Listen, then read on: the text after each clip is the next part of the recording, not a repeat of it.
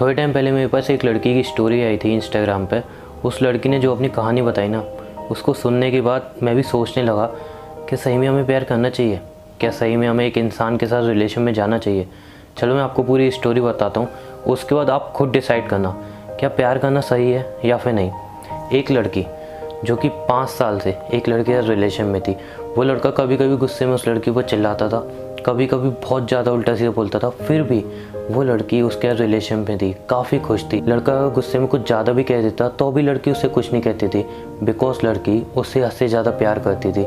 लड़की के लिए वो लड़का सब कुछ था, उसकी पूरी लाइफ था, उसकी पूरी ज़िंदगी था। लड़की ने शादी के भी सपने देख लिए, लड़की ने अपनी फैमिली को ही मना लिया। एक दिन लड़की ने अपनी फैमिली से साफ़ बोल दिया कि मैं शादी करूँगी तो इसी लड़के से करूँगी। लड़की की फैमिली नहीं मानी, फिर भी लड़के ने रो के लड़के अपनी फैमिली को कन्विंस किया, अपनी फैमिली को मना लिया। उस लड़के से शादी करने के लिए। सब कुछ अच्छा चल रहा था। लड़की काफ़ी खुश थी उसके रिलेशनशिप में। लड़की को लगने लगा था कि उसकी ड्रीम लाइफ आखिरकार पूरी होने वाली है। बट जब लड़की ने लड़के को बताया कि मैंने अपने घर पे सबको मना लिया है, शादी के लिए सब रेडी हैं बट लड़का तब मुकर गया। लड़के ने कहा कि मेरी सिचुएशन अभी ऐसी चल रही है। मेरा थोड़ा टाइम ख़राब चल रहा है। मेरी कुछ प्रॉब्लम्स हैं। मैं अभी तुम्हारी फैमिली से नहीं मिल सकता। लड़का हर बार एक नया बहाना करता और उसकी फैमिली से नहीं मिलता। लड़की को लगने लगा कि आखिर प्रॉब्लम क्या है। लड़की उससे बार बार कहती, कम से कम एक बार मिल लो, शादी की डेट फिक्स हो जाएगी, मेरी फैमिली को तसल्ली हो जाएगी तुमसे मिलके बट लड़का मिलने तक के लिए रेडी नहीं हुआ बिल्कुल लड़का बार बार बार बार झूठ बोले जा रहा बार बार एक नया बहाना और लड़की को शक होने लगा। बाद में लड़की को पता चला कि वो लड़का उसको चीट कर रहा था। वो भी अभी से नहीं, चार सालों से चीट कर रहा था जब ये बात लड़की को पता चली ना, वो बुरी तरह से टूट गई। बुरी तरह से।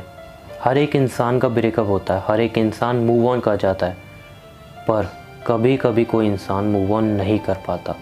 ये लड़की उन्हीं में से थी, जो उस लड़के से इतना ज़्यादा प्यार करती थी, उसके लिए मूव ऑन करना बहुत ज़्यादा मुश्किल था, बहुत ज़्यादा। लड़की पूरे दो साल तक डिप्रेशन में रही।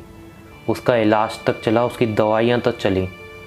पूरे दो साल वो डिप्रेशन में रही, पूरे दो साल। और डिप्रेशन ऐसा नहीं जो हम सोचते रहते हैं कि हम डिप्रेशन में हैं, ये वो, जो रियल में डिप्रेशन होता है, जिसकी दवाइयाँ चलती हैं। डॉक्टर ने तक कहा था डिप्रेशन में इसकी दवाइयाँ चलेंगी। पूरे दो साल वो लड़की डिप्रेशन में रही। और जब उसने मुझे अपनी इंस्टाग्राम पे स्टोरी बताई, तब उसने उसमें ये भी मेंशन किया कि अभी भी वो किसी पे पूरी तरह से भरोसा नहीं कर पाती है। किसी पे पूरी तरह से ट्रस्ट नहीं कर पाती है। वो ऐसा क्या करे जो किसी पे ट्रस्ट कर पाए? क्योंकि आज भी वो किसी पे भरोसा नहीं कर पाती है। ये स्टोरी सुनने के बाद आपको क्या लग रहा है? कि हमें प्यार करना चाहिए? यार, जब मैंने ये स्टोरी सुनी सच में, थोड़े टाइम के लिए ना, मुझे प्यार से सच में नफ़रत होने लगी थी क्या गलती प्यार की है। नहीं, गलती उस इंसान की है जिससे वो टकराई। गलती बस इतनी है कि वो गलत इंसान के साथ रिलेशन में आ गई।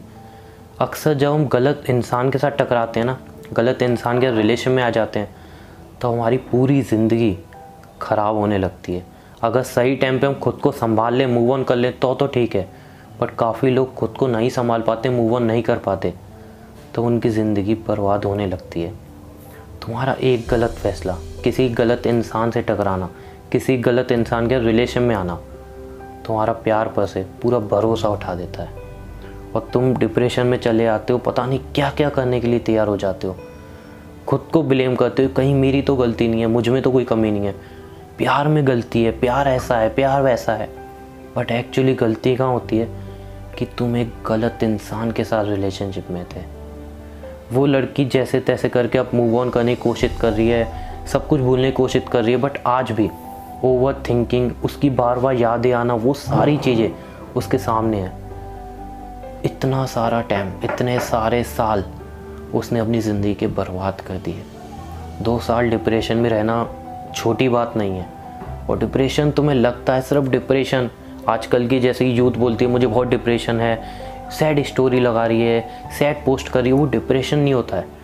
जिस दिन तुम एक्चुअल में इसको फील करोगे ना तो पता चलेगा कितनी भयंकर बीमारी है ये भी एक। और लड़की ने दो साल डिप्रेशन में रही है वो। तो यार, अगर कोई भी लड़का ये वीडियो देख रहा है जो किसी का रिलेशनशिप में और किसी और के साथ भी रिलेशनशिप में है तो मैं उससे इतना ही कहना चाहूँगा, तुम्हें अगर कोई पसंद नहीं है ना, तुम अगर किसी को लाइक नहीं करते, तुम्हें पसंद नहीं है, तुम उसका रिलेशन में आ रहे हो, अब तुम पछता रहे हो तो उसके मुँह पे पचास बातें सुना लेना और उसको छोड़ देना। वो इंसान फिर भी मूव ऑन कर जाएगा। बट तुम झूठ बोल के उसके रिलेशनशिप में ना बाद में जो उसको पता चलेगी, उसके लिए मूव ऑन करना बहुत मुश्किल होगा। इसलिए मैं अपनी हर वीडियो में कहता हूँ, तुम किसी का रिलेशन में आओ, तुम कुछ भी करो, कभी भी किसी का भरोसा मत तोड़ो।